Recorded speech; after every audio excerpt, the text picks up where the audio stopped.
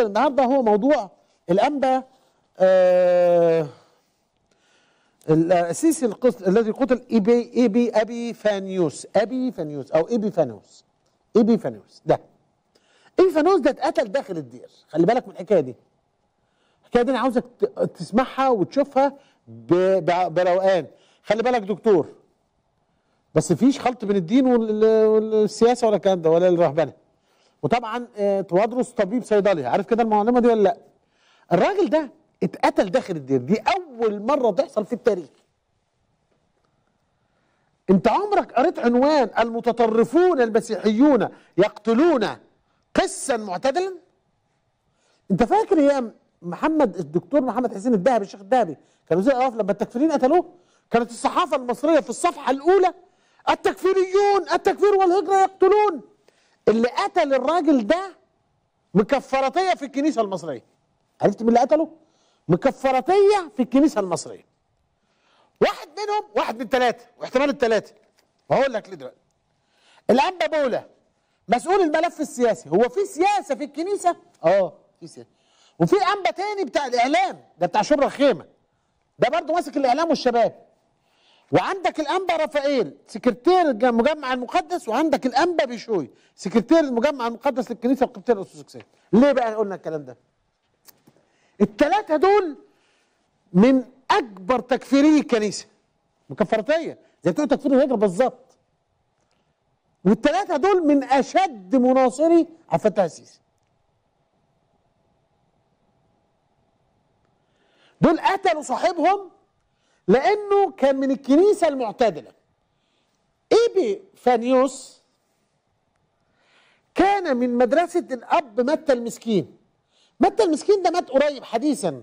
كانت راهب وكان رجل عنده علم ومعرفة وكان عنده تجديد. إيبي فانيوس برضه هو نفس كده راجل بتاع تراجم ومعرفة وبيقرأ وبيحاول يجدد في الخطاب الديني بتاع الإيه؟ الكنيسة. الصنعة في الكنيسة فيها لعب. لانك لما تجدد في الخطاب الديني في الكنيسه هتضيع السبوبه. واللي بيحصل في الكنيسه إيه حضرتك؟ في الكنيسه زيها زي اي حتة. انت بتخش يحصل اعترافات ويحصل مش عارف إيه وفي طب زي ما انت بتسمع في كل كنائس العالم في مشاكل جنسيه مش معناها ان كل الكنائس كده. أنا لا اتهم. رجال الدين الحقيقيين في اي مكان بانهم وحشين. بس أقول لك اللي حاصل. الراجل ده ايبيفانيوس ده هو زي ما قال راهب قبطي لوكالة من الأنباء قال لهم قتل بأيدي ده ايبيفانيوس هتشوفه على الشاشة. قتل بأيدي مسيحية. الراجل ده ده متى المسكين ده اللي قعد في الكنيسة في الدير ما خرجش منه سنوات طويلة. المدرسة بتاعته هي بتاعت مين؟ بتاع التوادرس اللي هو بيقول لك إيه؟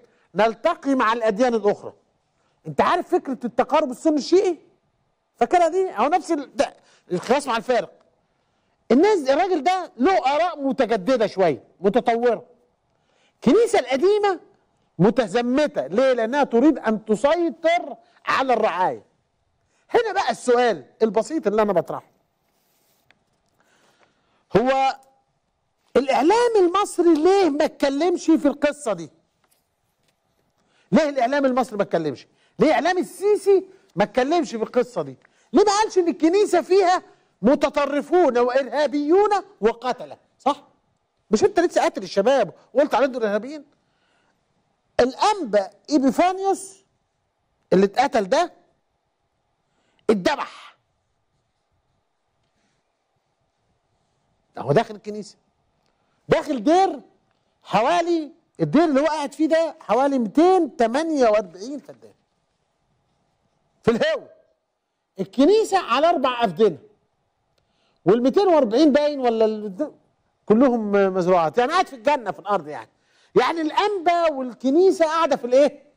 هات لي جامع في مصر عنده وقف من الأفدنة كده.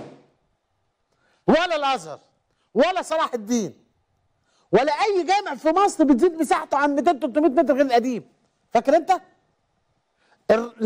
مساكن الرهبان وأديرتهم كنيسة صغيرة وغيطان. بيزرعوها شي زيتون انت عارف وادي النطرون في مصانع وبيدربوا العيال على الجهاد في سبيل الله وما بهزرش. وعندهم سلاح أكيد. ده مش دعوة للتطرف.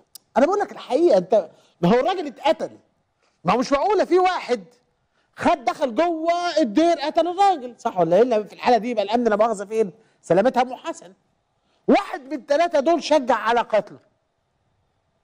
لأنه كان رجلا بيقولوا طبعا مشرفا على مكتبة المخطوطات والمراجع بكل اللغات وهو من الباحثين الناشطين. الكنيسة قالت لك هنشوف الدنيا هتعمل إيه وهنصلي عليه آه يعني ون- ونودعه وكده وربنا إيه يتولى الصالحين. جريده الوطن بتقول لك أيوه في شبهة والشبهة دي هنشوفها. طيب لما في شبهة ليه ما قلتوش إنه الراجل قتل صح ولا لأ؟ قتل على يد واحد مسيحي احتمال يكون بإعاز من ثلاثة إيه؟ من القساوسة. طبعا أيام البابا شنودة حصلت مشكلة.